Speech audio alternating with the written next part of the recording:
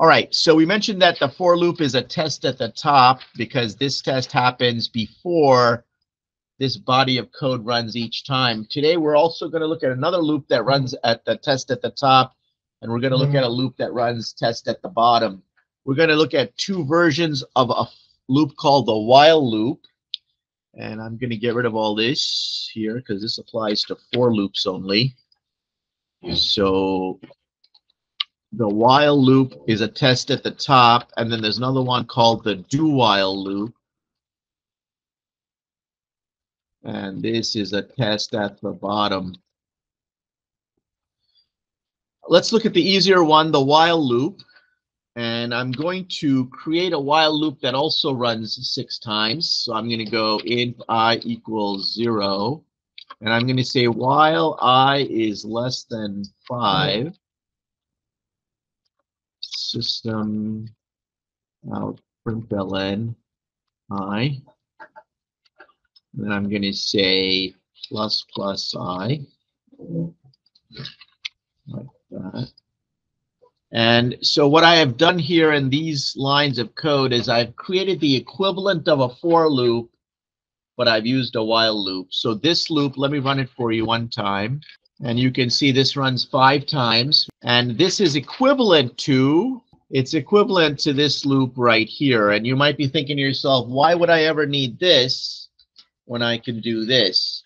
But it turns out that the while loop is more flexible because we typically use the for loop when we know ahead of times how many times we want the loop to run. For example, here we know we want it to run five times. Sometimes you don't know ahead of time what you want, how many times you want the loop to run. For example, let's say you're asking the user to enter a number for you in the range of say zero to 10, and they keep entering bad numbers, and you don't know how many times that's going to happen. So what you can do is you can use a while loop to keep going until they give you what they want. So while loops, this loop right here, is good if you don't know if you don't know ahead of time how many times to run.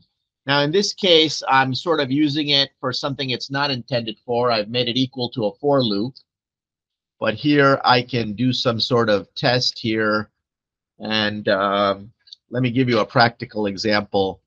Uh, I'm going to ask the user to enter a number. So to do that, I'm going to use something called a scanner. This ties the scanner to the keyboard.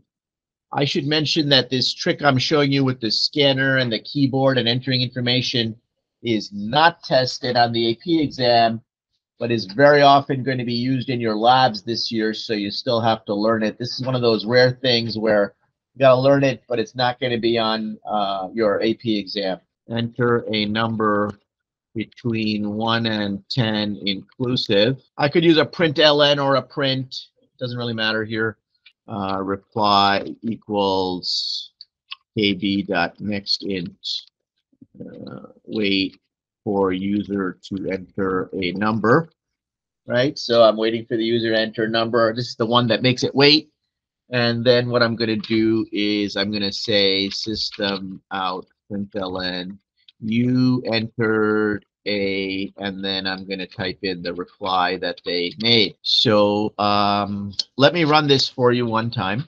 And you can see it's sitting here waiting for me to enter a number. And let's say I enter the number seven. So now it says you entered a seven. Now let's say that the user was naughty and did not do what you said and you ask for a number between 1 and 10, let's say they type in 11. Now, right now, I'm not doing anything. I'm just terminating the program. But let's say I wanted to repeat the request until I got a number in the range that I wanted. So now what I can do is I can rewrite this as a while loop and ask basically the user over and over again to enter the number until they finally give me one in the right range. So to do that, I'm going to have some code that's going to be outside the loop. That's going to be that code right there. And then I'm going to have a while loop here. And I'm going to say while uh, not valid input or something like, oops, sorry about that, input.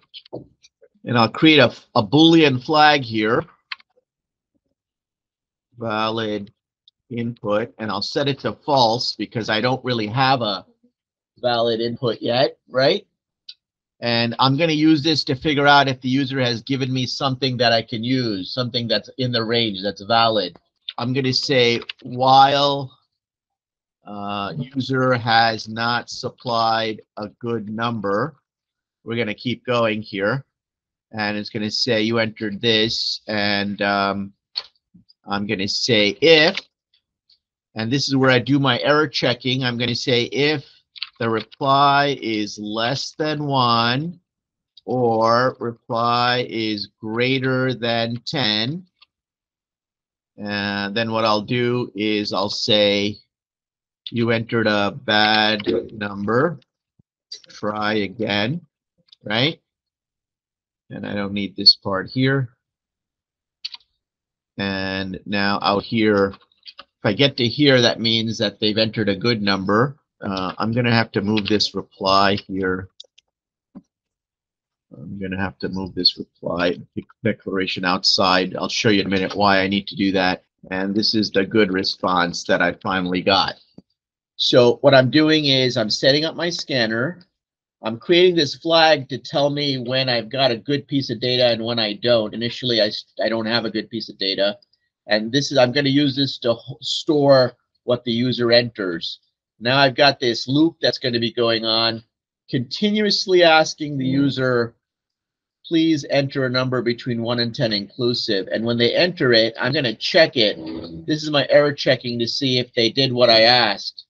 And if they didn't do it, if it's too small or too big, I'm going to enter a number here. Now, I've forgotten one more thing here. I need to do something if they have entered a good number. Mr. Mason, can you guess, sir, what I do if uh, uh, they entered a good number? I need to do something. I want to leave the loop. That's very good, sir. That's right. How do I do that? Sir, right now the loop runs as long as this variable is false. Okay, so I just need to set this variable to true. And allows me to leave the loop. All right, let's try this out now. This is a little bit of complicated uh, code here, but hopefully you figured out what's going on. So you can see it's sitting there asking me for a number. Now, if I type in a bad number like 100, you'll see that it tells me I entered in a bad number and it'll ask me again. But now you notice if I type in a good number, it just exits the program, types the number and exits the program. So now notice that if I run this, if I keep typing in bad numbers, you see it just keeps going. And I don't know how many times that loop's going to run because I don't know how many times the user will misbehave. So the while loop is useful here instead of a for loop because I don't know ahead of time how many times I need it to run. So let's look at this loop a little bit more closely. And what we're going to do is we're going to keep doing this test over and over again. And each time the test comes out to be true, we're going to run the body of the loop. And then when we come back up here, we're going to test it again. So this while loop is also a test at the top loop. Because just like the for loop, this test is being done before I run the iteration before I run the iteration. Does everybody see that? Okay. Now I'm going to show you the, the other kind of while loop, which is called a do while loop. And the main difference between the while loop and the do while loop is the do while loop is a test at the bottom loop. And what that means is that the do while loop always runs at least once. Notice that this while loop and the for loop may not run at all, depending if the test fails, you leave the loop right away. You don't even run once. But the do while loop, because it tests at the bottom of the iteration, it always runs at least once. Let's look at a do while loop. I'm going to use the do while loop to accomplish the same thing. And I'm going to put the do here like this. And I'm going to put the while here like this. And now I can make it a little bit simpler I don't need this anymore. Okay, there is my do while loop.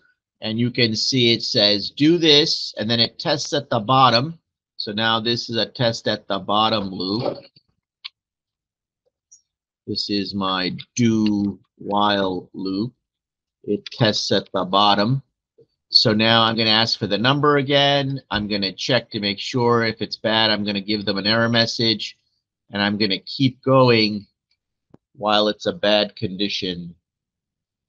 So let's run this again. And as long as it's a bad number, you can see it'll keep going and I type in a good number and you can see it will exit the loop. Now, I can tell you for certain that on the AP exam, the for loop and the while loop will be tested. I'm not completely sure if the do while is tested or not. I've never seen it. I've shown it to you. The do while is especially useful for things that have to run at least once, like user input is particularly good for because when you ask the user for input, you know they got to do it at least once, right? So that would be a good use for the do while loop.